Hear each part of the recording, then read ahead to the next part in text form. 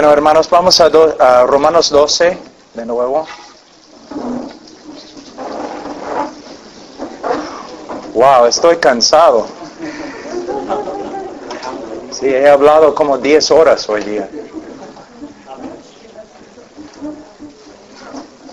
Hermanos, es un, es un privilegio, un, gozo estar aquí con ustedes y um, de verdad me gusta, me gusta predicar en, inglés, por lo menos. Me gusta predicar, pero más me gusta hacer lo que he hecho hoy día. Estar con un grupo de personas, 10, 15 personas, simplemente hablando acerca de las cosas del Señor. Y, um, wow, yo vine a edificar al cuerpo de Cristo, pero hoy día los hermanos me han edificado, me han ayudado bastante. Es un gozo muy, grande para mí cada vez que veo a jóvenes que de verdad quieren servir al Señor. Y, wow, qué privilegio.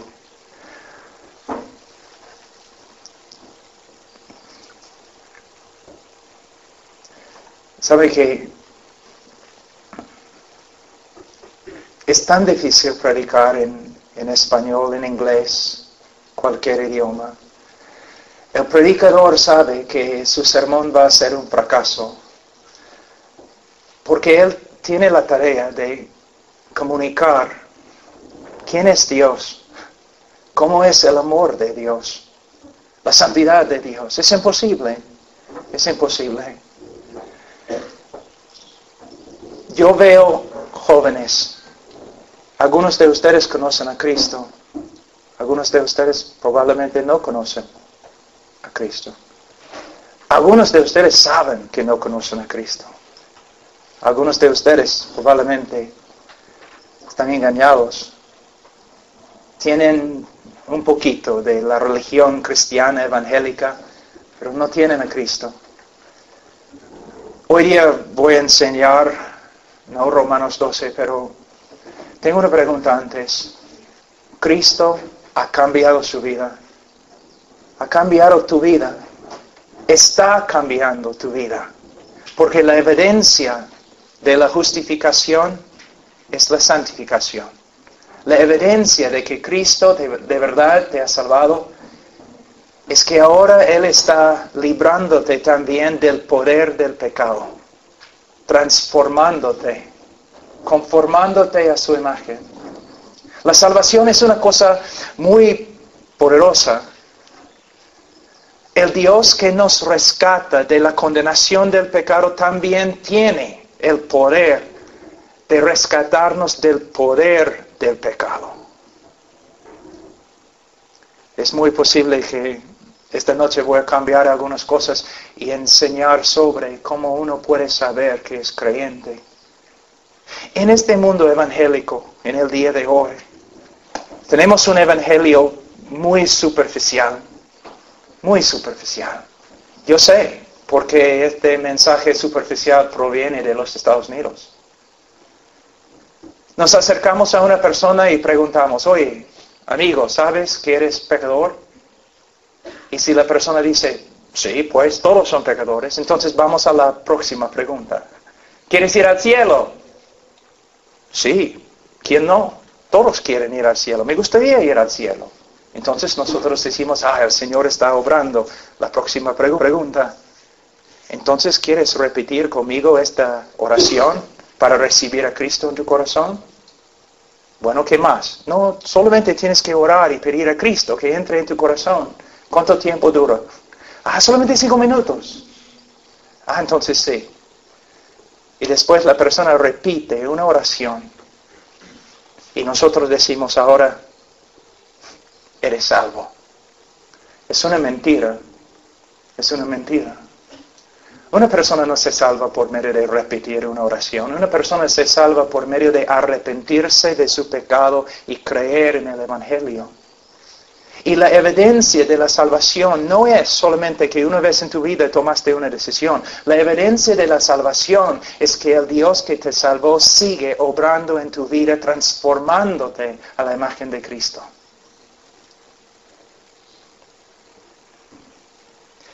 Hablando del Evangelio, muy rápido. Una persona, tú preguntas a una persona, Señor, ¿sabes que eres, sabes que eres pecador? Si él dice sí, no significa nada. El diablo sabe que es pecador. Es el mejor pecador que hay, pero no es salvo. La pregunta no es, Señor, ¿sabes que eres pecador? La pregunta es, Señor, te he predicado el Evangelio. Ahora, habiendo escuchado el Evangelio, Dios ha obrado en tu vida. El pecado que antes amabas, ahora odias. Tu corazón ha cambiado, hay arrepentimiento, puedes ver cuán feo es el pecado o sigues igual. Y preguntar a una persona, mira, ¿quieres ir al cielo? Todos quieren ir al cielo. No es la pregunta. La pregunta es, Señor, después de haber escuchado el Evangelio, ¿quieres conocer a Dios? ¿Quieres tener una relación personal con Dios? En, ningún sitio en las escrituras encontramos los apóstoles, en el libro de Hechos o en las epístolas, o Jesucristo, en ningún sitio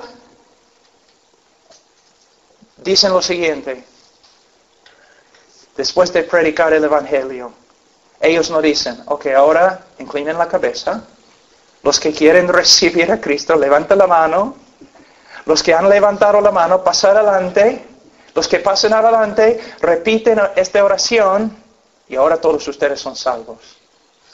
No. El llamado del Evangelio es que el hombre debe arrepentirse de su pecado y creer en el Evangelio. Y el que cree es salvo. Y la evidencia de la salvación es una vida que lleva fruto. Quizás esta noche vamos a hablar de ese tema tan importante. Pero ahora vamos a Romanos 12. En versículo 1, así que hermanos os ruego por las misericordias de Dios que presentéis vuestros cuerpos en sacrificio vivo, santo, agradable a Dios, que es vuestro culto racional. Muy rápido vamos a ver, al resumir algunas cosas en el, en el primer versículo. Primeramente, que el Señor nos está llamando que nos presentemos a Él como un sacrificio vivo. Jesús varias veces en los evangelios, nosotros podemos escuchar después de sus prédicas, Él llama a las personas diciendo que ustedes tienen que venir y morir, ustedes tienen que venir y llevar su cruz. Tienes que negarse a sí mismo y tienes que seguirme como el Señor, con señorío absoluto. ¿Has escuchado este llamado? ¿Estás siguiendo al Señor como tu Señor? Un Señor absoluto. Un amo absoluto. ¿Estás siguiendo al Señor? Si tú dices sí, entonces mi próxima pregunta es, entonces ¿estás estudiando su palabra para saber cuáles son sus mandamientos? Porque si no tienes conocimiento de sus mandamientos, no puedes seguirle como el Señor. Entonces tenemos una necesidad como creyentes de tomar una decisión una vez para siempre de entregarnos a Cristo. Pero después de entregarnos a Cristo, como sus siervos, sus esclavos, nosotros tenemos que empezar a renovar la mente con la palabra de Dios. Tenemos que tener una relación íntima con Dios a través de su palabra. Porque si no tenemos el conocimiento de Dios, no podemos saber cuándo estamos viviendo en obediencia o cuándo estamos viviendo como el mundo. Él dice aquí que debemos entregarnos a Él, pero también nos da un motivo, algo que nos empuja para que nos entreguemos a Cristo. ¿Cuál es? Mira en versículo 1. Dos palabras. Así que, hermanos. En este texto Él está diciendo que debemos presentarnos a Dios como sacrificio vivo. Pero Él nos da el motivo. ¿Por qué debemos hacerlo? Dice, así que hermanos os ruego por las misericordias de Dios. Entonces, Pablo está haciendo algo muy especial aquí, en la estructura griega, que hace también en el libro de Efesios capítulo 4.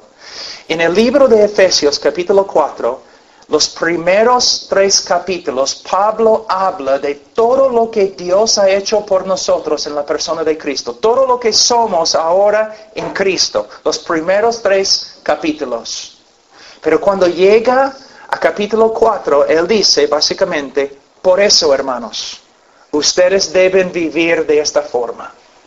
Basado en lo que Dios ha hecho por nosotros en Cristo, nosotros debemos vivir de una manera diferente.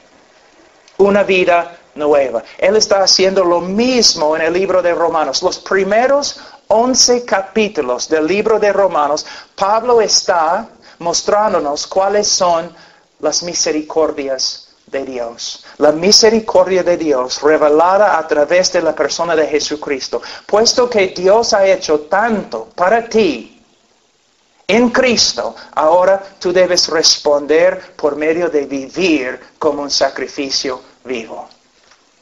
Ahora, en Estados Unidos siempre hay conferencias de jóvenes donde los jóvenes vienen y tienen buena música y predicadores y todo lo demás y los jóvenes salen pero animados, ¿no? Y dura como dos días, una semana y de ahí nada. ¿Sabe por qué? Porque la vida cristiana es algo espiritual. No es algo que puedes lograr en la carne buena música, compañerismo, diversión, un montón de cosas, no pueden promover la santificación en tu vida. ¿Sabes lo que tú necesitas? Joven, ¿sabes lo que tú necesitas? Un curso en teología es lo que necesitas. De verdad. En el día de hoy, ¿cuántos de ustedes han leído un libro entero de la teología sistemática, jóvenes? Uno, dos, tres. Bien. ¿Cuántos de ustedes han estudiado los atributos de Dios más que seis meses, quizás un año, dos años?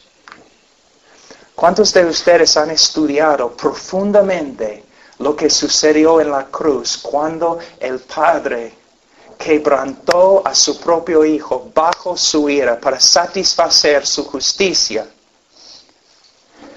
Lo que estoy enseñando es lo siguiente. La motivación en la vida cristiana proviene de nuestro conocimiento de quién es Dios, quién es Cristo, quién es el Espíritu Santo, qué ha hecho por nosotros más que conozco a Dios, más que este conocimiento me, me motiva a servirle como sacrificio vivo.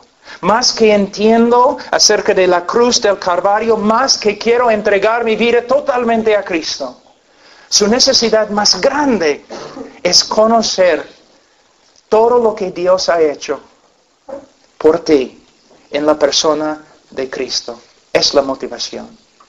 Mira, a veces los predicadores nos dicen cosas que debemos hacer, pero rara vez nos, enseñan cómo hacerlo. Por ejemplo, una vez cuando yo era joven, yo estaba escuchando a un predicador y él estaba predicando una hora y media diciendo, ustedes tienen que caminar en el Espíritu, tienen que caminar en el Espíritu, tienen que caminar en el Espíritu. Y luego, después de la predica, me acerqué y le pregunté, Señor, estoy de acuerdo, pero no sé cómo caminar en el Espíritu. No, no, no sé lo que significa. Se enojó conmigo y bajó de la plataforma. Él estaba diciéndome que debo hacer algo, pero no estaba contándome cómo hacerlo. A veces los hombres o los predicadores nos dicen que debemos amar más a Dios. ¿Quiénes aquí deben amar a Dios más? Deben crecer en su amor. Pero ¿cómo puedes hacerlo? ¿Cómo puedes crecer en tu amor para Dios? ¿Cómo? Bueno, yo soy casado ahora 16 años y amo a mi esposa más ahora que cuando nos casamos, mucho más. ¿Por qué? Porque yo la conozco más, sus atributos, su manera de ser, más que conozco de ella, más que la, la amo. De la misma forma, más que conoces a Dios, su persona, cómo es, más que lo vas a amar y lo vas a temer también. Lo que falta en el día de hoy, la buena teología y personas estudiando quién es Dios, qué ha hecho Dios por mí. Este conocimiento funciona como una motivación para empujarte. Y nadie más tiene que empujarte. Porque por medio del conocimiento de la grandeza de Dios, tú vives como un sacrificio vivo. Ahora, Él dice que debemos vivir como un sacrificio vivo y dice que es vuestro culto racional. Esta palabra racional en griego se traduce de dos formas. Puede referirse a la palabra racional o la palabra espiritual. Tú quieres adorar al Señor, tú quieres ser una persona espiritual y ofrecerle un sacrificio espiritual, es por medio de entregar tu vida a Él como un sacrificio vivo. Y fíjate, aquí dice que debemos entregar nuestro cuerpo, como enseñé esta mañana, creo. Él usa esta palabra con un propósito muy específico, que es, hay personas en el día de hoy que hablan de su amor para Cristo. No, yo amo a Cristo, tengo Cristo en mi corazón. Pero la Biblia enseña que si de verdad Cristo está dentro de tu corazón, y si tú amas a Cristo con todo tu corazón, va a cambiar tu manera de vivir, tu manera de usar el cuerpo. Si amas a Cristo con todo tu corazón, entonces Cristo va a ser el Señor de tus ojos. Él va a ser el Señor de tu mente. Él va a ser, el Señor de de tus labios. Él va a ser el Señor de lo que haces, tus obras, tu fruto. Nadie aquí hoy día debe decir, yo amo a Cristo con todo mi corazón, a menos que se refleje en su manera de vivir. Dios no quiere tu corazón. Él quiere tu corazón, tu mente, tu cerebro, tus manos, tus pies, tus ojos, todo sometido, todo sometido a su voluntad. Y la persona que se somete más a la voluntad de Dios es la persona más feliz en el mundo. Nuestro deseo no debe ser simplemente ejercer nuestro libre albedrío. Nuestro deseo, nuestra meta debe ser someternos a la voluntad de Dios. Porque en someternos a Él vamos a encontrar gozo, alegría y vida. Ahora, Él dice aquí que es vuestro culto racional. Es la única cosa razonable que puedes hacer con tu vida. Si tú dices con la boca que Cristo, que Jesús es el Señor, entonces la única respuesta racional es entregarte totalmente a Él. Mira la contradicción que existe en la iglesia. Cristo es el Señor, pero no nos sometemos a su voluntad. Cristo es mi vida, pero tenemos otros ídolos en nuestra vida. ¿Ves la contradicción? Cristo es todo para mí, pero no tengo tiempo para servirle. Cristo es todo para mí, pero la dirección de la vida de la persona que dice esto es una dirección, claramente Él está buscando las cosas de este mundo. Si Cristo es tu Señor, entonces Él tiene que poseer todo lo que eres y controlar todo lo que eres. Si no, no estás funcionando como un ser racional. Ahora, versículo 2 dice, no os conforméis a este siglo, sino transformaos por medio de la renovación de vuestro entendimiento, para que comprobéis cuál sea la buena voluntad de Dios agradable y perfecta. No os conforméis. En Perú, nosotros en la sierra hacemos casas de adobe. Y todos los ladrillos tienen el mismo tamaño. ¿Por qué? Porque todos los ladrillos salen del mismo molde. Literalmente es lo que Pablo está diciendo aquí. No debe ser hecho del mismo molde que el mundo hace. No debe ser como el mundo. En nada. En el día de hoy, en el mundo evangélico, es algo interesante. Todos están diciendo ahora que debemos ser como el mundo para ministrar al mundo.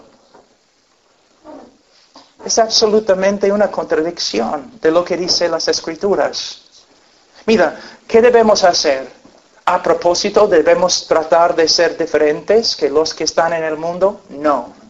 Pero lo que debemos hacer es estudiar las escrituras para que las escrituras determinen cómo vivamos en este mundo.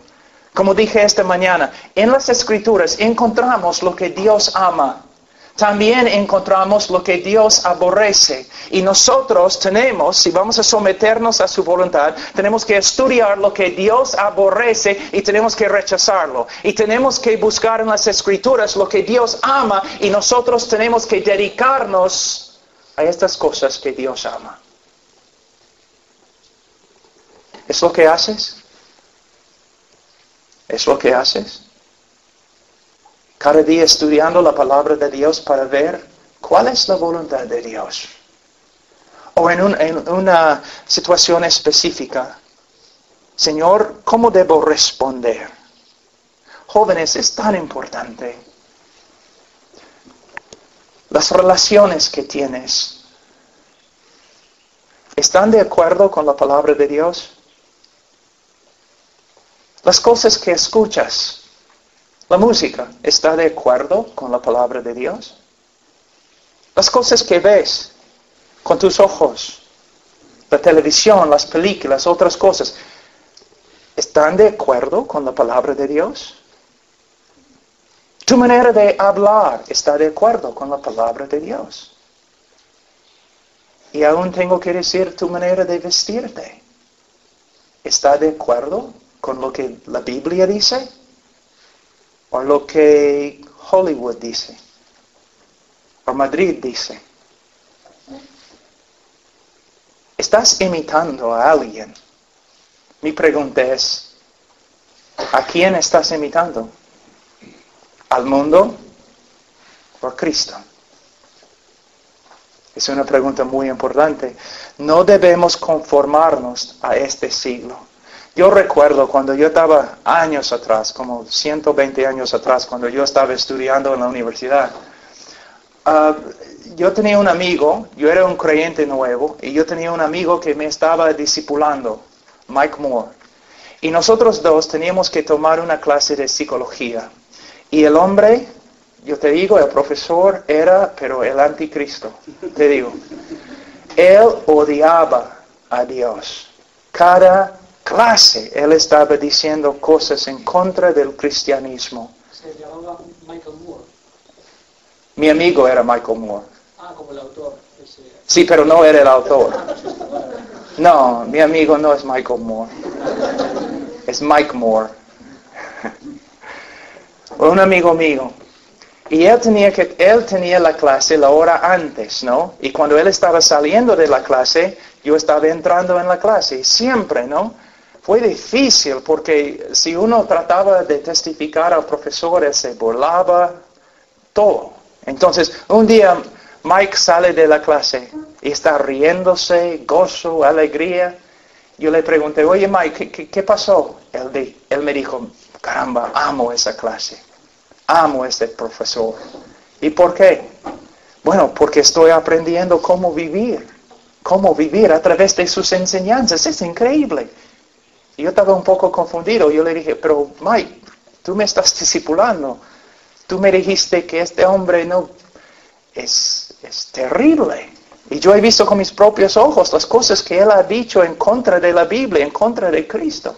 Él dijo, claro, claro, pero estoy aprendiendo tanto. Yo escucho todo lo que Él me enseña, yo escribo todo lo que Él me enseña, yo memorizo todo lo que Él me enseña y cuando hago lo contrario tengo la Biblia. Hermanos, si la mayoría en el mundo lo están haciendo, podemos, estar seguros que no debemos hacerlo. Hay una corriente en este mundo y tú tienes que decidir, ¿vas a ir con la corriente o vas a ir en contra de la corriente? Tú dices, pero Pablo, nosotros somos jóvenes, tú no entiendes cuán difícil es. Bueno, yo también, hace 100 años yo era joven. Yo sé lo que es pararte en medio de la universidad y predicar el Evangelio mientras todos los alumnos se están burlando de ti. Yo sé lo que es tomar decisiones muy fuertes que te cuestan, pero es lo que Cristo demanda de ti. Bienvenido al cristianismo auténtico. Si vas a ser cristiano, si vas a llevar el título de un cristiano, entonces tienes que tomar decisiones que te van a doler y que te van a hacer daño. Y vas si vas a seguir en este, en este mundo tan corrupto, vas a sufrir. Si el mundo no tiene problema contigo, tampoco Satanás tiene problema contigo. Porque estás caminando con el mundo. Pero nosotros la Biblia enseña que no debemos conformarnos a este siglo, no debemos hacerlo. ¿Qué debemos hacer? Debemos ser transformados. Dice, sino transformados por medio de la renovación de vuestro entendimiento. Ustedes necesitan compañerismo, es verdad. Necesitan estar en una iglesia donde ustedes pueden tener amigos cristianos. Ustedes también necesitan estar en una iglesia donde ustedes pueden um, escuchar sermones bíblicos. Es necesario. Ustedes necesitan la predicación de la palabra de Dios. Pero no es suficiente. Ustedes, cada persona aquí, tiene que dedicarse a renovar su mente con la palabra de Dios. Si tú vas a conferencia tras conferencia, si tú tienes el mejor pastor del mundo, no importa si tú no tienes un tiempo devocional, si tú no estás leyendo las escrituras. Los hombres y las mujeres que yo he conocido, los más espirituales, tienen solamente dos cosas en comunes. Ellos saturaron sus vidas en la palabra de Dios. Y segundo, eran hombres y mujeres de oración. Las dos cosas que nadie quiere hacer, que la carne no quiere hacer. Alguien me preguntó otro día, me dijo, Pablo, mira, en España es muy difícil. ¿Qué tipo de estrategia, qué, debemos hacer para hacer crecer la iglesia. ¿Qué piensas? Yo le dije, bueno hermano, vamos a ver. Tenemos que estudiar las escrituras. Tenemos que saturar nuestra vida en las escrituras. Tenemos que interceder tenemos que orar, tenemos que servir. Todos están buscando una clave para hacer crecer la iglesia. Todos están usando métodos de los Estados Unidos que son métodos carnales que salen del mundo de negocio. Si nosotros queremos tener una iglesia fuerte en España, la iglesia se funde en el estudio de las escrituras, obediencia, oración.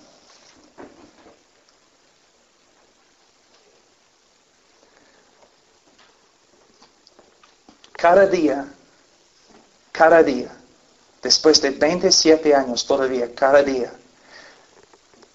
mi tarea principal no es predicar, no es ministrar, no es hacer crecer una iglesia.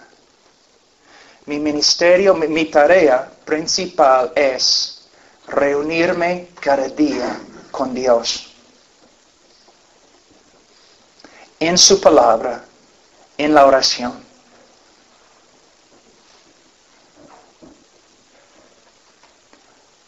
Una hora, a veces dos horas, a veces tres horas, a veces más, solamente para conocerle solamente para crecer en mi relación con Él. Eso es lo que necesitas.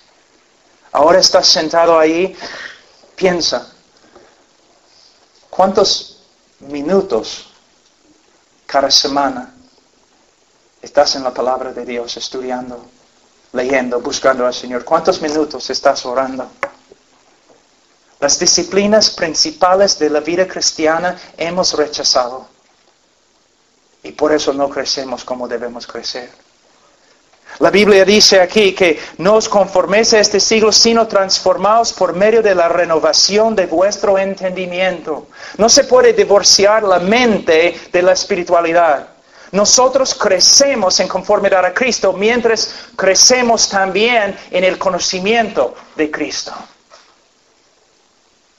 El Espíritu Santo obrando, aplicando lo que tenemos acá aplicándolo en nuestra vida. Hermanos, un joven, un niño, va al colegio, donde va a recibir de sus maestros enseñanzas seculares. Dios no existe en el colegio. Todo tiene que ver con el humanismo. Ahora, el niño en Estados Unidos, 13 años en, el colegio, comenzando con kindergarten hasta el grado 12. 13 años.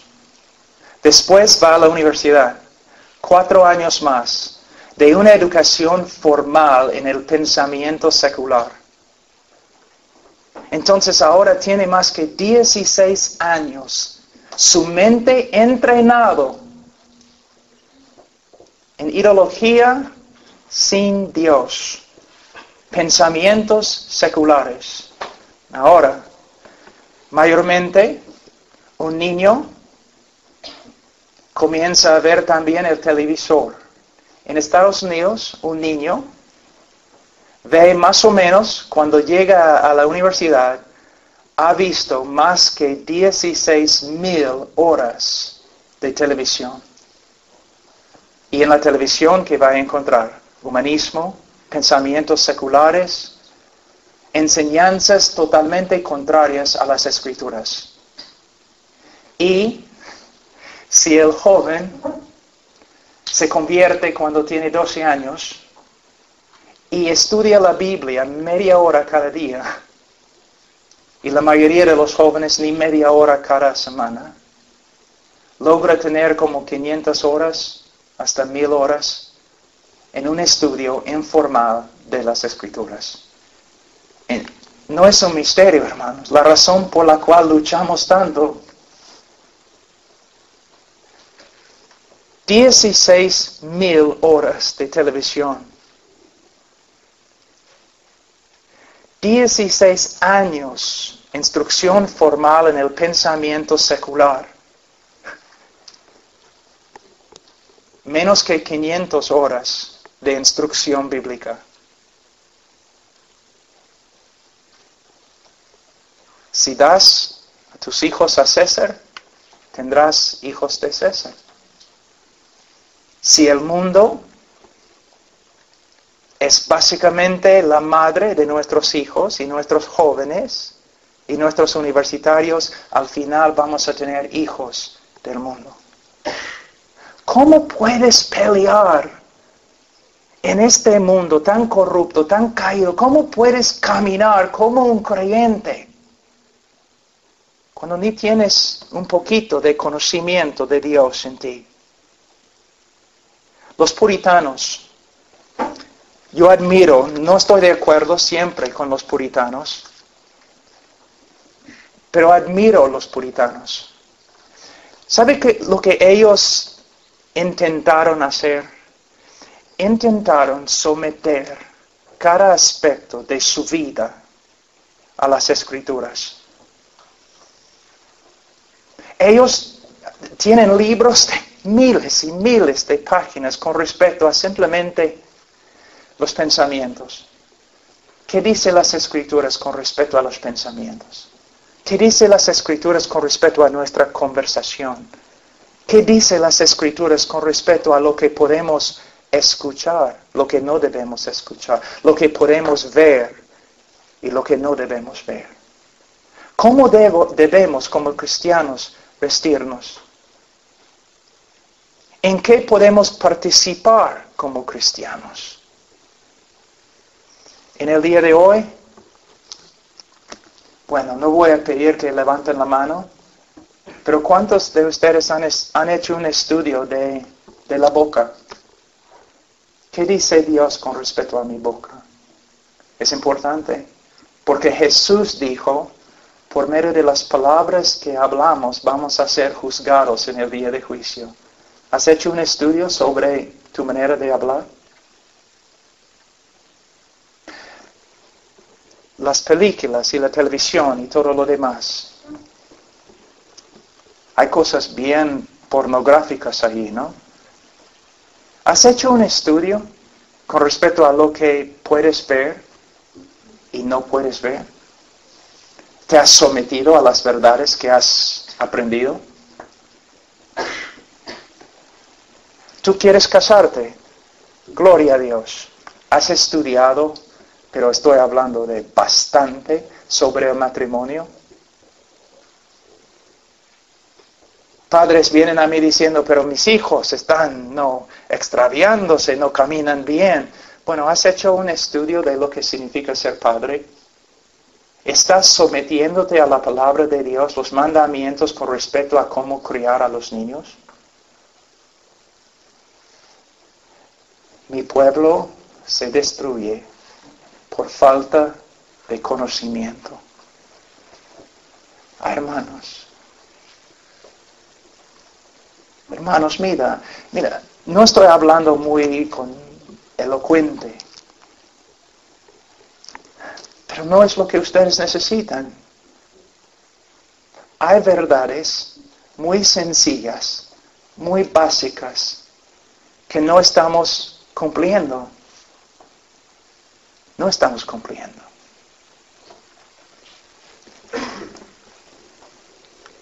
De todo lo que haces, cuánto de todo lo que haces se conforma a la palabra de Dios. Es una buena pregunta. Mira, ustedes son evangélicos. Y a veces ustedes miren a, la iglesia católica, y ustedes dicen, bueno, no, ellos no siguen la palabra de Dios, ¿cómo pueden ser tan ciegos con respecto a sus ídolos y María y todo lo demás? Pero quizás la próxima generación va a decir lo mismo acerca de ustedes. ¿Cómo es que no confesaron a Cristo como Señor, pero ni estudiaron su palabra? no tenían conocimiento de, su voluntad con respecto a, la vida cotidiana. Simplemente, como dicen jueces, cada uno hacía conforme a lo que, ¿no? Conforme a sus pensamientos. Y no seguían la palabra de Dios. Ahora, algunas cosas prácticas para renovar tu mente lo primero que tienes que hacer es eliminar la basura. Vamos a decir que yo, yo he hecho una torta, ¿ok? Una torta para tu cumpleaños. Y yo digo, mira, es una torta que he preparado con los mejores ingredientes y todo lo demás. Eh, pero hay una cosita que debo decirte y tú estás cortando la torta, vas a comer ahora. Y yo digo, una cosa más, también usé un poco de desagüe, no, en vez de leche. ¿Vas a comerlo? No. Una vez has escuchado a una persona diciendo, Mira, es, es una buena película. Debes ir a verlo. Solamente hay cuatro e- escenas donde hay desnudez y algo pornográfico. Pero es una buena película. ¿eh? Solamente usan el nombre de Dios en vano tres veces. Hermanos, es como tener una torta muy, muy buena con un poco de desagüe. Hermanos, si van a ser santos, tienen que evitar lo que contam- contamina. Mira, un hombre muy famoso en cristianismo una vez me mandó un folleto cuando yo era joven. a un hombre que se llama Leonard Ravenhill ah, de Inglaterra. Y yo estaba luchando un poco en mi vida cristiana, tratando de ver ¿no? la voluntad de Dios para mi vida. Y él me mandó un folleto. Y el folleto decía, otros pueden, pero tú no puedes. Y básicamente el folleto decía lo siguiente. Otros pueden hacer un montón de cosas como el mundo. Está bien. Pero joven, si tú quieres ser usado por el Señor, si tú quieres ser un hombre de Dios, tú no puedes. Si de verdad tú quieres que el Señor te utilice para hacer cosas grandes, vas a tener que eliminar muchas cosas de tu vida. Y tú dices, fanaticismo. Pero vamos a ver, los atletas que participen en, en esta Olimpiada, mira cómo son, ¿no? Un niño de seis años, el entrenador puede ver que este sí corre bien. Entonces, de seis años a 25 años, solamente para correr en una carrera, él, él entrena. Él no tiene amigos casi. Él no sale con sus amigos. Él no puede quedarse fuera de la casa muy tarde porque tiene que dormir, tiene que comer bien. Toda su vida se centra en una sola carrera. Para ganar una cosa de oro que no es de oro. Pero tú me dices que soy un fanático porque estoy diciendo que, que tienes que eliminar cosas de tu vida para correr hacia la meta. Una meta eterna que nunca pasará. Un día en, Europa, en, Inglaterra, un maestro del violín estaba tocando su último concierto y uh, después de tocar, un, anciano, después de tocar, un joven se le acercó y le dijo, maestro, yo daría mi vida para tocar como tú. Y él dijo, él dijo, joven, yo he dado mi vida para tocar como toco. Personas a veces me dicen, pero Pablo, me estás viajando por, por todo el mundo y ustedes tienen misiones en diferentes países. Yo quiero que el Señor me, me use así. Yo, yo daría mi vida para ser usado así. Joven, he dado mi vida para ser usado así. Hay una lista muy larga de lo que me ha costado. Primeramente, si vamos a ser santos, si vamos a tener una mente limpiar, tenemos que eliminar todo lo que, lo que contamina la mente. No voy a ver los programas que quizás tú vas a ver. Yo no voy a ir a los sitios donde quizás vas a ir. ¿Por qué? Tengo que separarme. Yo tengo relaciones con incrédulos. Yo tengo amigos incrédulos. Yo entro en el mundo para testificar, para hacer cosas, pero todo lo que puedo evitar, yo evito. En, en, los Estados Unidos ahora, hablando con mi esposa hace como tres años atrás, en los malls, ¿se llaman malls? Centros comerciales, pero grandes, grandes, grandes, grandes, ¿no? Uh, el tamaño de Texas. es muy fácil entrar allí porque puedes comprar cualquier cosa y también puedes, ah, ¿no? Esquiar, todo. Es increíble lo que puedes hacer en algunos de esos lugares. Pero yo le dije a mi esposa, mira, hace tres años, yo no voy, yo no voy a ir nomás, a menos que sea para testificar. Porque simplemente los letreros que tienen casi son pornográficos en las tiendas. No necesito preocuparme por esas cosas. No voy a ir. Entonces no he ido a un mall años. No voy. ¿Por qué? Porque no voy a permitir que esas cosas me malogren. No llevo a mis hijos tampoco. ¿Por qué? Por causa de esas cosas. Televisor, tenemos un televisor, pero no está conectado. Tenemos un televisor con DVDs que podemos controlar. ¿Por qué? Tener un televisor viendo el cable y todos los programas que hay es como tener un tubo de desagüe entrando en tu casa 24 horas al día. Y luego tú te quejas porque tus niños son pervertidos. Mira lo que han visto. Mira lo que han visto. Entonces, si vamos a renovar la mente, primeramente tenemos que eliminar muchas cosas de nuestra vida que nos hacen daño.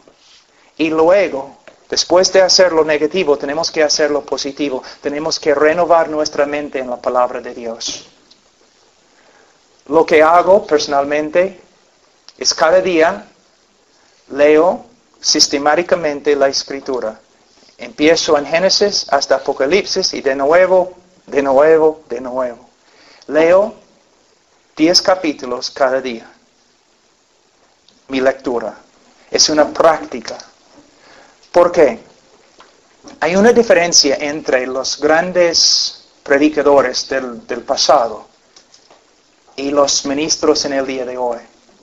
Los grandes predicadores, ellos tienen tenían un conocimiento de toda la escritura, todos los libros, los profetas menores, mayores, la ley, el Nuevo Testamento, el Evangelio, las epístolas, ellos tenían un, conocimiento pleno de todas las escrituras. En el día de hoy los jóvenes solamente estudian el Nuevo Testamento, o el libro de Romanos, o algo así.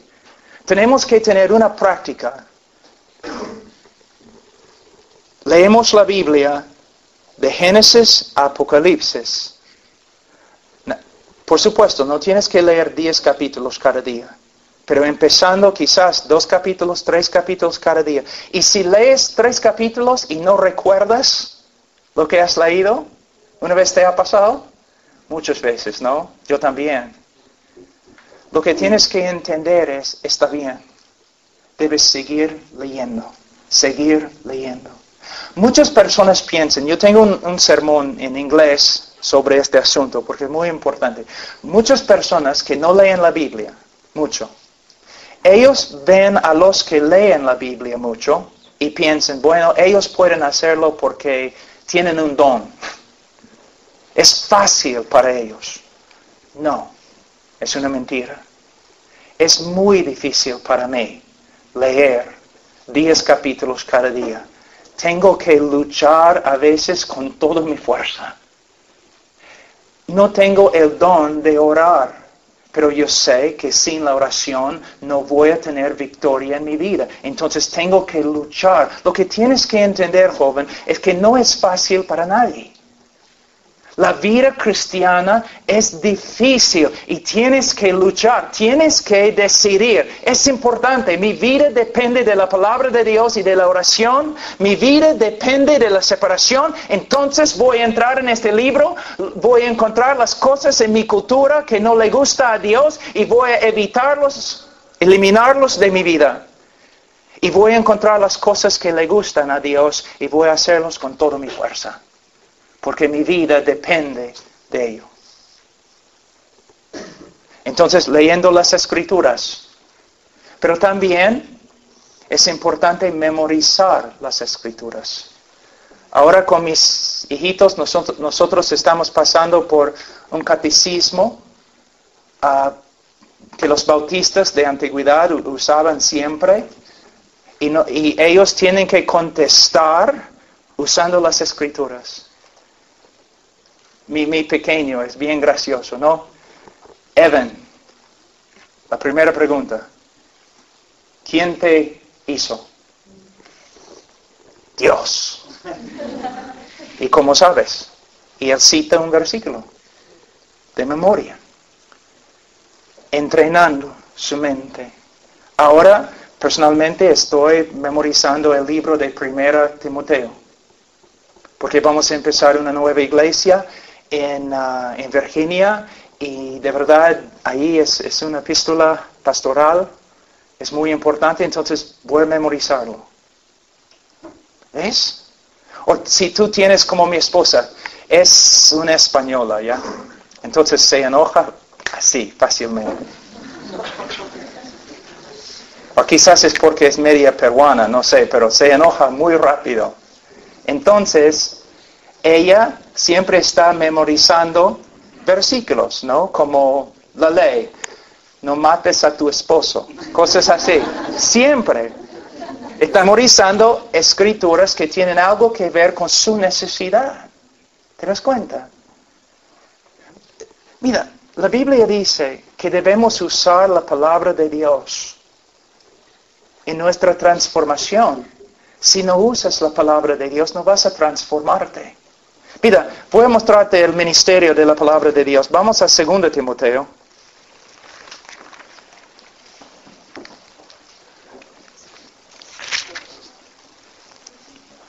Segunda Timoteo capítulo 3.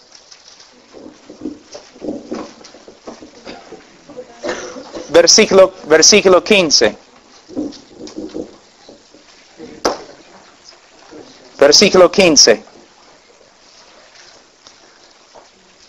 Y que desde la niñez has sabido las, las sagradas escrituras, las cuales te pueden hacer sabio para la salvación, por la fe que es en Cristo Jesús.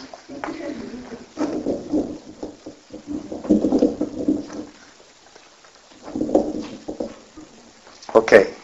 Es más fácil predicar en la selva, no necesitas micrófonos. Mira, primeramente en versículo 15, desde la niñez has sabido las sagradas escrituras. Desde la niñez. Padres, ¿qué están enseñando a sus hijos? Desde su niñez ustedes deben, deben estar enseñándoles la palabra de Dios, memorizando la palabra de Dios con ellos. Desde su niñez. Un catecismo puede ser muy, muy bueno. Yo uso el 19, ah, 1689, el Catecismo de la Confesión de Londres, de Spurgeon. Mis hijos ahora están ahí aprendiendo acerca de la imputación, la propiciación, redención. Pueden aprender, de verdad. La, te- la teología, un niño puede aprender la teología. Pero más importante que aprenda las escrituras. Desde la niñez has sabido las sagradas escrituras, las cuales te pueden hacer sabios para la salvación. Yo tengo tres hijos que amo bastante. Yo no puedo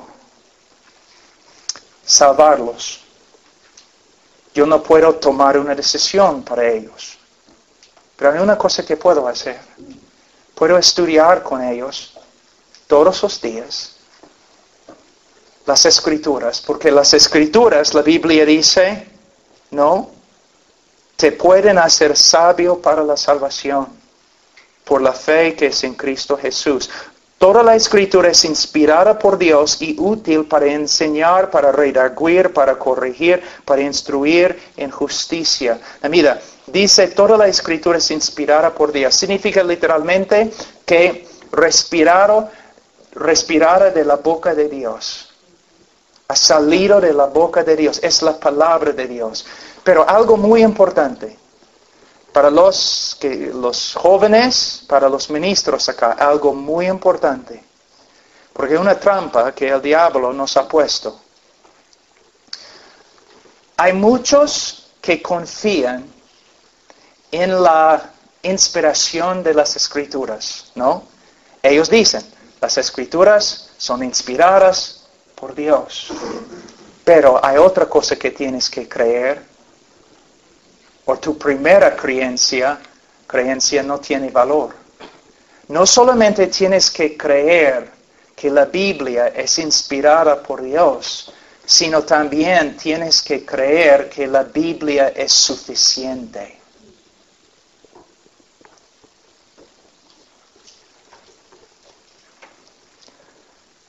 Hoy en día, cuando uno quiere empezar una nueva iglesia,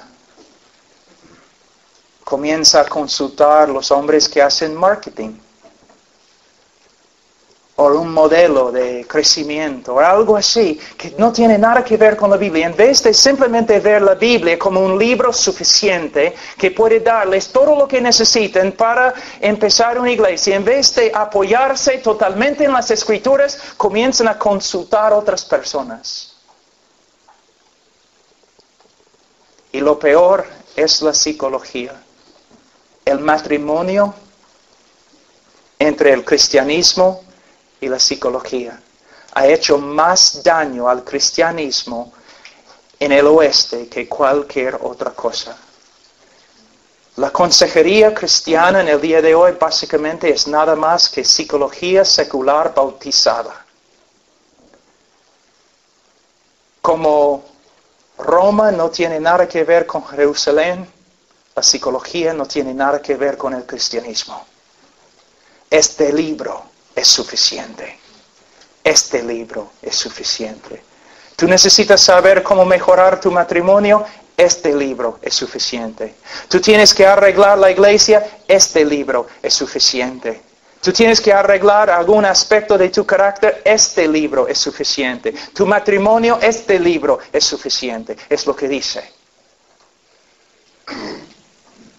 Vamos a un texto, un ratito. Isaías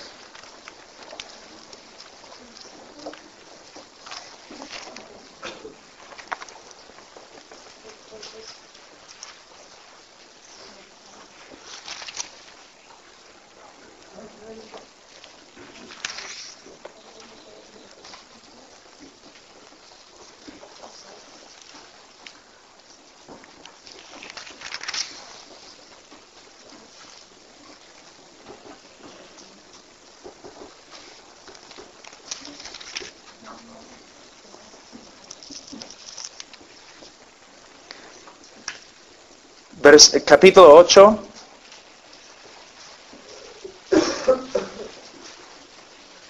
Versículo 19.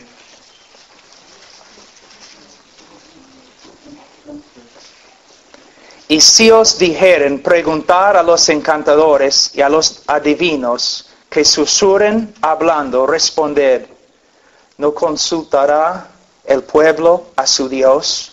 ¿Consultará a los muertos por los vivos, a la ley y al testimonio, si no dijeron conforme a esto es porque no les ha amanecido. La iglesia de Cristo debe consultar a los muertos espiritualmente para aprender cómo ministrar. Debemos consultar a los muertos espirituales para aprender cómo arreglar nuestra vida. No. Lo que encontramos en la palabra de Dios es suficiente. Mira lo que dice en versículo 17. A fin de que el hombre de Dios sea perfecto, enteramente preparado para toda buena obra. Con la palabra de Dios. Un hombre, una mujer puede estar preparado totalmente para cada buena obra, para toda buena obra. No necesitamos consultar a los muertos espirituales. Simplemente necesitamos estudiar la Biblia. Pero puesto que no estudiamos la Biblia, y aún los pastores muchas veces no estudian la Biblia, ni buscan las respuestas en la Biblia, pensamos, caramba, la Biblia no tiene respuesta, entonces vamos a consultar a otro. No, hermano. La Biblia tiene la respuesta.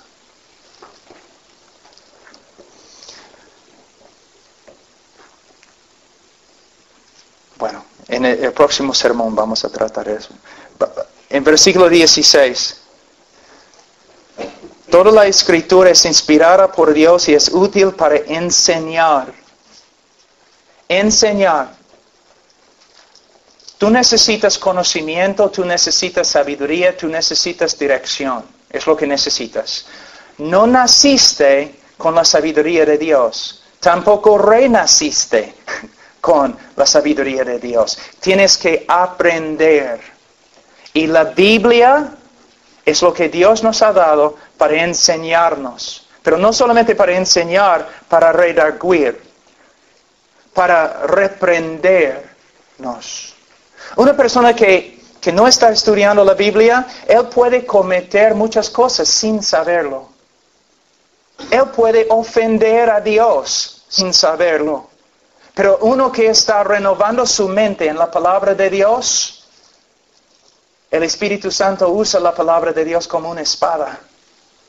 Y cuando el hombre sale de la línea, el Espíritu Santo le convence usando la palabra de Dios. Necesitamos reprensión. Necesitamos que Dios nos corrige. Ahora, dice, para enseñar, para redaguir, para corregir. Muy rápido, les voy a enseñar lo que esas palabras significan. Mira, enseñar es, es para darte el conocimiento que necesitas para vivir la vida cristiana. Luego, redaguir. Cuando tú sales de la línea, cuando has pecado, el Espíritu Santo usa la palabra de Dios como un abogado para convencerte de tu culpabilidad. Él usa la palabra para mostrarte, estás mal.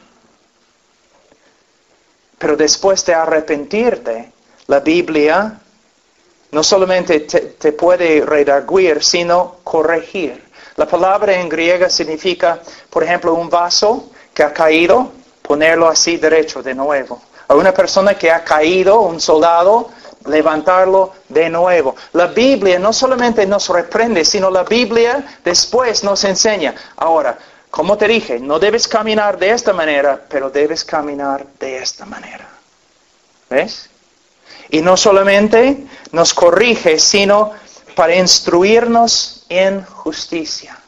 La Biblia dice que debemos ser niños con respecto al pecado. Con respecto a la maldad, ustedes deben ser niños especialmente los niños y especialmente las mujeres.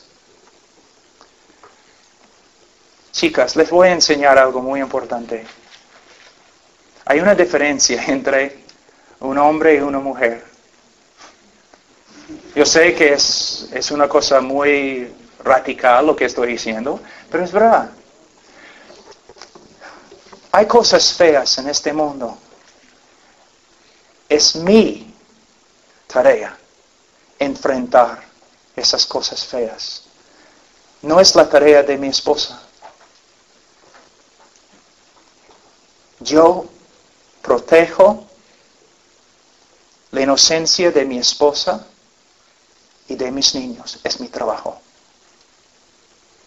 Sí, como predicador, predicando en las calles, no solamente en las iglesias, predicando por todos lados, yo estoy enfrentado a veces con cosas horribles. Es mi trabajo proteger a mi esposa y a mis hijos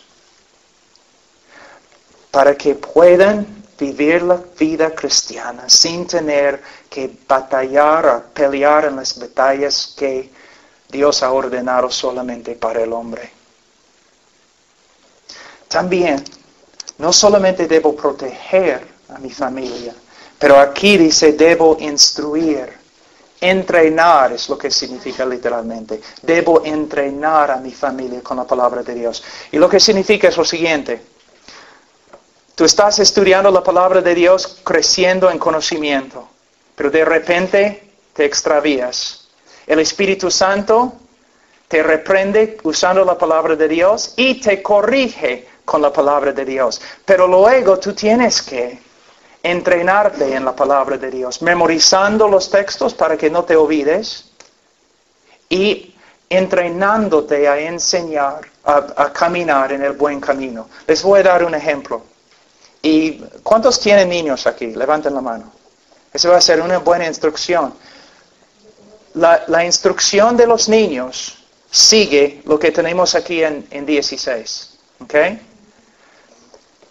Yo tengo la responsabilidad de enseñar a mis niños desde el comienzo. Tengo la responsabilidad de enseñar diariamente. Solamente domingos no tenemos enseñanzas personales porque ya están ahí en la iglesia. Pero lunes hasta sábado, sí.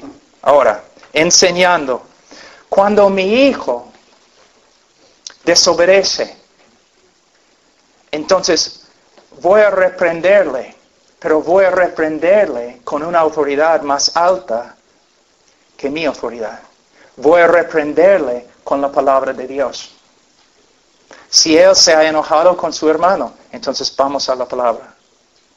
Mira lo que has hecho. ¿Ya?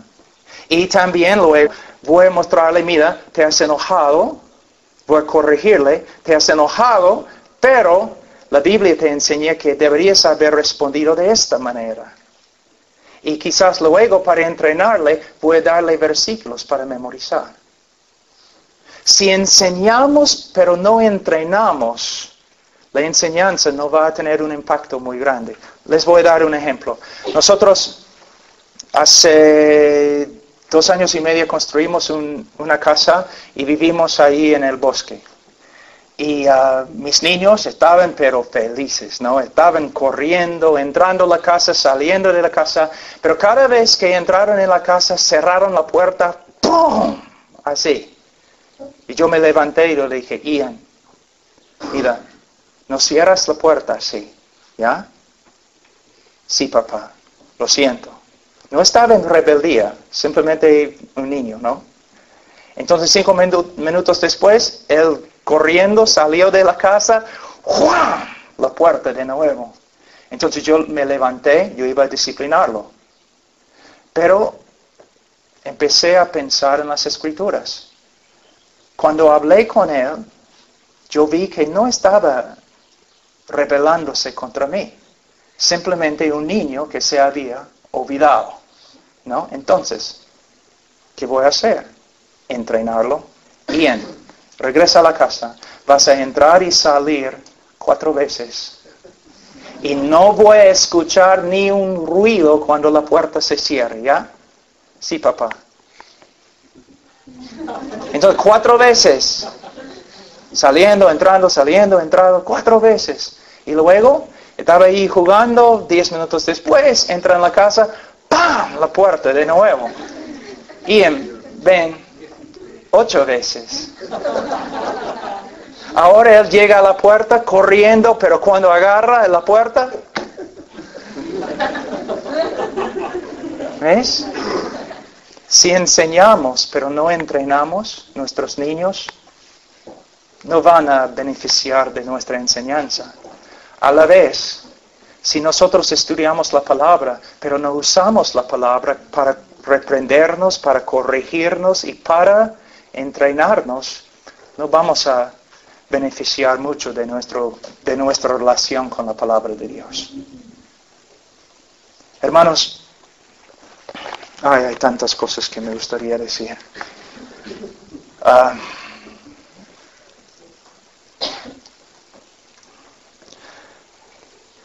puedes, puedes ver, mira, algunos de ustedes, vamos a hablar sinceramente, honestamente.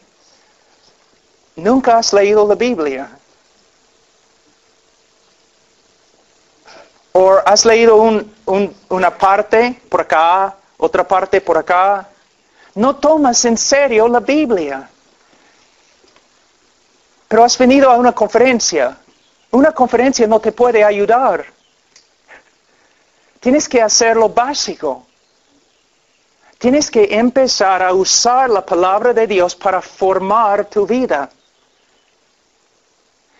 cuando yo era joven, teníamos los hippies, ¿no? Los hippies, 1970 por ahí. Y todos usaban camisas que decían hay que cuestionar autoridad, ¿no? Es lo que deben hacer. Ustedes deben cuestionar su propia autoridad. Bueno, no, yo pienso de esta manera. Ok, está bien, vamos a comparar lo que tú pienses con la palabra de Dios. Y si hay un desacuerdo, tienes que arrepentirte. ¿Ves? Pero es mi estilo de vivir. Bueno, vamos a comparar tu estilo de vivir con la Biblia. Y si no, no hay un acuerdo, tú tienes que cambiar porque la Biblia no va a cambiar. ¿Ves? Todo lo que hacemos usando las escrituras. A veces nosotros tratamos la Biblia como si, como, como un libro santo, pero nunca la usamos. Y el pastor no te puede ayudar. Él puede predicar, él puede orar por ti, pero si tú mismo no estás estudiando la palabra, no vas a hacer progreso en la santificación o conformidad a Cristo. Si yo no estudio la Biblia un día, yo lo sé, yo, yo puedo ver la diferencia. Si no estudio la Biblia dos días, mi esposa puede ver la diferencia. Y si no estudio la Biblia tres días, todo el mundo puede ver la diferencia. ¿Y tú que no estudias la Biblia casi nunca? ¿Cómo vas a crecer? Y jóvenes, varones, escúchenme, ¿qué dice Primero de Juan? Que los jóvenes eran fuertes. ¿Por qué? Porque la palabra de Dios estaba dentro de ellos. Algunos de ustedes han hablado conmigo diciendo, yo quiero ser misionero, yo quiero ser misionero. Quizás sería mejor que no seas misionero, si no fueras misionero. ¿Por qué? Un día yo estaba trabajando en, en, Perú hace años y un joven del seminario me llamó desde los Estados Unidos y él dijo, Pablo, hermano Pablo, yo quiero trabajar contigo en Perú. Yo le dije, bueno, está bien. Uh, cuéntame, ¿qué sabes de las escrituras? Cuéntame los teólogos que estás leyendo. Cuéntame tus prédicas, tus estudios, tu relación con la palabra de Dios. Y él me dijo, bueno, yo no, yo no estudio y la teología y, no la Biblia y, yo leo la Biblia pero no conozco la Biblia. Yo solamente quiero venir, Pablo, a Perú y dar mi vida a los peruanos. Y yo le dije, mira, los peruanos no necesitan tu vida. Los peruanos necesitan a Dios y necesitan a un joven que puede venir acá y predicarles correctamente acerca de Dios. ¿Tú quieres ser misionero, misionera? Gloria a Dios. Pero tienes que prepararte, es un privilegio, ¿no te das cuenta? Y la gente en el mundo, ellos no necesitan tus opiniones, ni necesitan tu sonrisa. Y necesitan más que tu ejemplo. Ellos necesitan el conocimiento de Dios. Necesitan una persona que puede abrir la Biblia y enseñarles lo que la Biblia dice. Es cierto. Tus amigos tienen problemas. Tú dices, bueno, mi opinión, tu opinión. Nadie necesita tu opinión. Lo que tu amigo necesita es una palabra directa de la palabra de Dios. Tenemos que saturar nuestras vidas. Ustedes han leído de John Bunyan, Juan Bunyan, que fue encarcelado 12 años en el Torre de Londres, escribió el progreso de, proceso de peregrino. John Owen, uno de los más grandes teólogos de los puritanos, dijo de John Bunyan, si cortas sus venas, él va a sangrar la Biblia. Nosotros debemos tener vidas saturadas en la palabra de Dios. conocimiento de quién es Dios y lo que Dios ha hecho por nosotros en Cristo. Esto va a motivarnos para vivir la vida cristiana. Y mira, el Señor te ama más que el mundo te ama. El Señor sabe lo que es mejor. ¿Lo crees? Él sabe lo que es mejor para ti. ¿Lo crees? Entonces, Él nos ha dado leyes, mandamientos, sabiduría, principios para ayudarnos, no para hacernos daño, no para restringir nuestra vida, sino para expandir nuestra vida. Pero no lo crees, porque si crees, vas a empezar a estudiar las escrituras para encontrar lo que es la voluntad de Dios. Vamos a orar.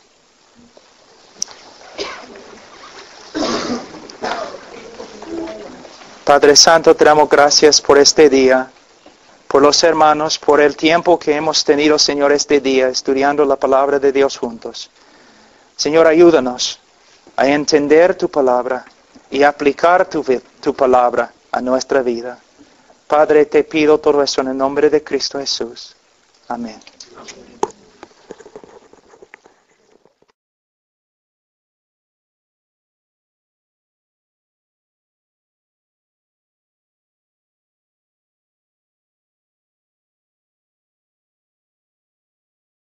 Llama a las personas diciendo que ustedes tienen que venir y morir. Ustedes tienen que venir y llevar su cruz.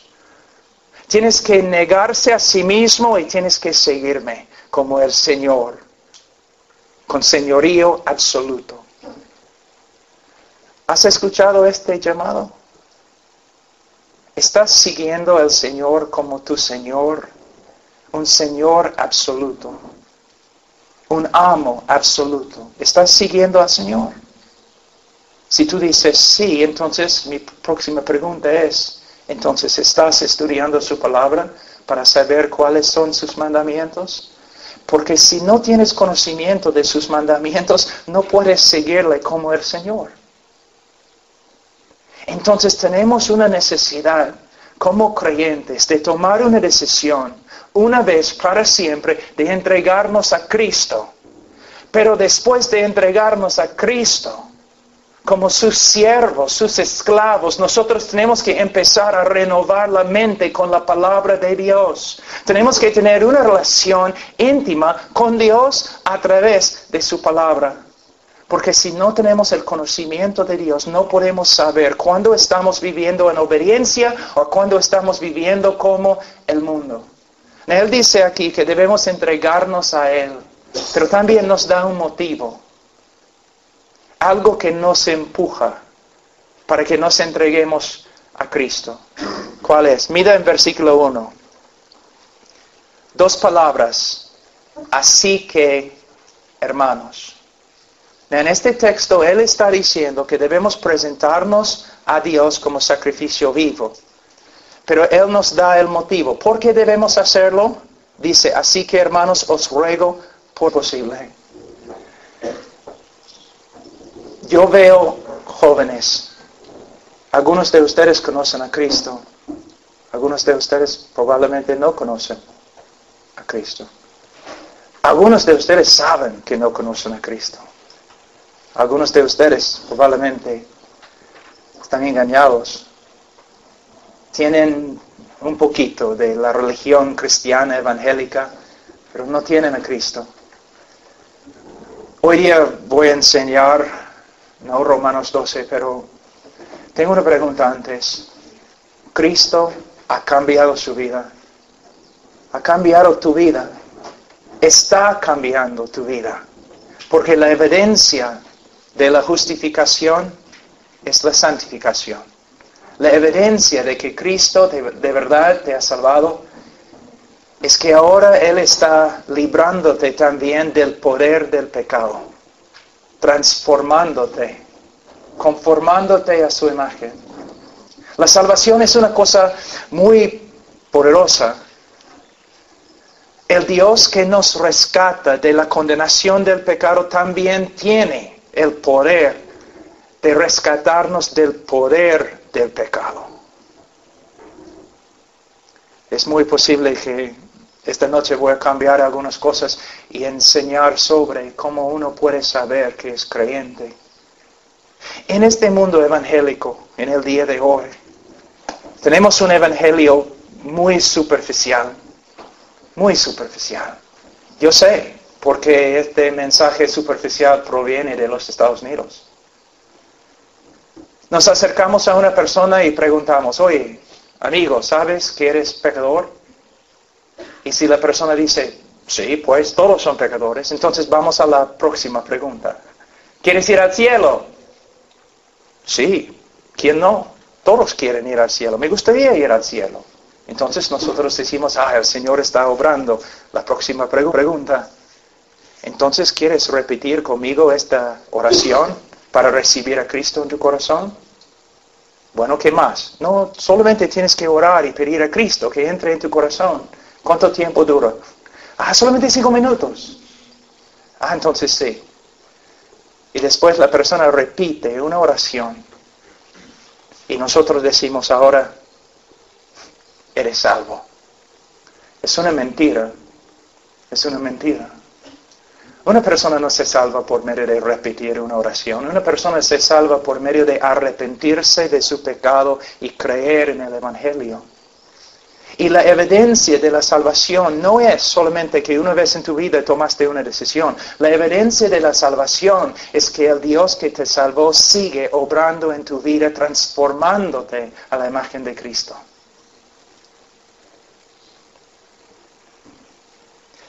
Hablando del Evangelio, muy rápido. Una persona, tú preguntas a una persona, Señor, ¿sabes que eres, ¿sabes que eres pecador? Si él dice sí, no significa nada. El diablo sabe que es pecador. Es el mejor pecador que hay. Pero no es salvo. La pregunta no es, Señor, ¿sabes que eres pecador? La pregunta es, Señor, te he predicado el Evangelio. Ahora, habiendo escuchado el Evangelio, Dios ha obrado en tu vida. El pecado que antes amabas ahora odias? ¿Tu corazón ha cambiado? ¿Hay arrepentimiento? ¿Puedes ver cuán feo es?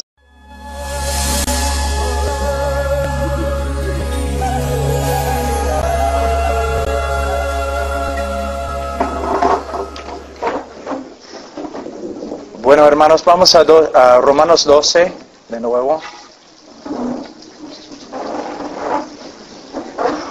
Wow, estoy cansado. Sí, he hablado como 10 horas hoy día. Hermanos, es un, es un privilegio, un, gozo estar aquí con ustedes y um, de verdad me gusta, me gusta predicar en, inglés, por lo menos.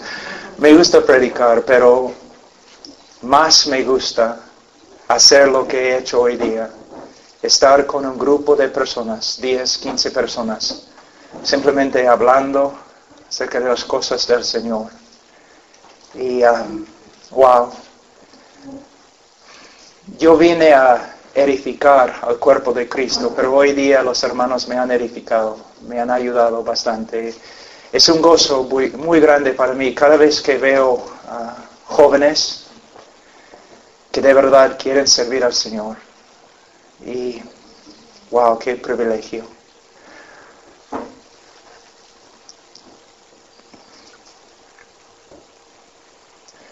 ¿Sabe que es tan difícil predicar en, en español, en inglés, cualquier idioma? El predicador sabe que su sermón va a ser un fracaso, porque él tiene la tarea de comunicar quién es Dios, cómo es el amor de Dios, la santidad de Dios. Es imposible. ¿Es el pecado o sigues igual? Y preguntar a una persona, mira, ¿quieres ir al cielo? Todos quieren ir al cielo. No es la pregunta. La pregunta es, Señor, después de haber escuchado el Evangelio, quieres conocer a Dios. Quieres tener una relación personal con Dios. En, en, ningún sitio en las Escrituras encontramos los apóstoles, en el libro de Hechos o en las epístolas, o Jesucristo, en ningún sitio dicen lo siguiente. Después de predicar el Evangelio, ellos no dicen, ok, ahora inclinen la cabeza. Los que quieren recibir a Cristo, levanten la mano. Los que han levantado la mano, pasen adelante. Los que pasen adelante, repiten esta oración y ahora todos ustedes son salvos. No. El llamado del Evangelio es que el hombre debe arrepentirse de su pecado y creer en el Evangelio. Y el que cree es salvo. Y la evidencia de la salvación es una vida que lleva fruto. Quizás esta noche vamos a hablar de ese tema tan importante. Pero ahora vamos a Romanos 12. En versículo 1, así que hermanos os ruego por las misericordias de Dios que presentéis vuestros cuerpos en sacrificio vivo, santo, agradable a Dios, que es vuestro culto racional. Muy rápido vamos a ver, resumir algunas cosas en el, primer versículo. Primeramente, que el Señor nos está llamando que nos presentemos a Él como un sacrificio vivo. Jesús varias veces en los evangelios, nosotros podemos escuchar después de sus prédicas,